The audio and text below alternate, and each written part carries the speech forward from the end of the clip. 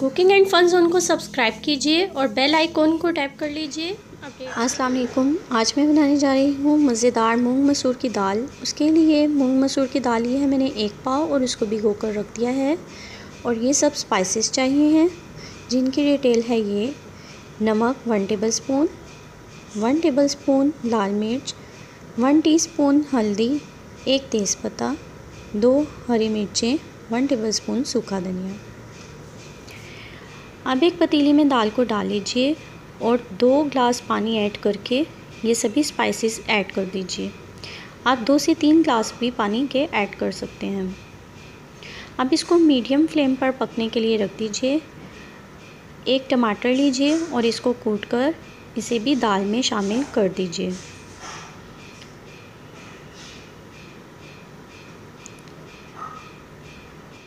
अब इसके ऊपर एक लकड़ी की स्टिक रख दीजिए, क्योंकि ये पकते हुए बाहर आ जाती है। लकड़ी की स्टिक रखने से इसका टेम्परेचर बरकरार रहता है। तीस मिनट के बाद मीडियम फ्लेम पर तीस मिनट तक पकने के बाद आप ये देख सकते हैं, ये गाढ़ी हो चुकी है और गल भी चुकी है। अगर ये आपको बहुत ज़्यादा गाढ़ी लगती है तो आप इसमें आधा गिलास पानी शामिल कर सकते हैं।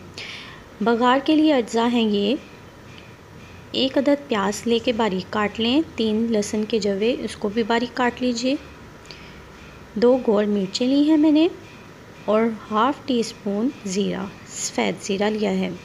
एक पतीली में तेल लेकर ये तमाम अज़ा डालकर इसको प्याज ब्राउन होने तक आप पकाएँगे। ये बघार अच्छी तरह से तैयार हो चुका है और इसका दाल पर तड़का लगा दीजिए। बहुत ही ज़बरदस्त स्मेल आ रही है।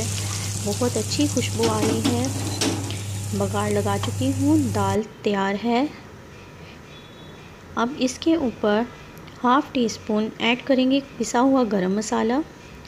लीजिए। मज़ेदार मूंग मसूर की दाल तैयार है। रेसिपी को लाइक करना हरगिज मत भूलिएगा। मेरे चैनल को सब्सक्राइब कीजिए।